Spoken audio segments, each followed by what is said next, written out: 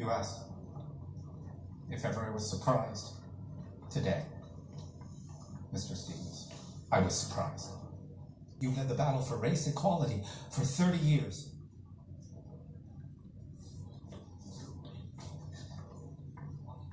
The basis of, of every hope for this country's future life. You denied Negro equality.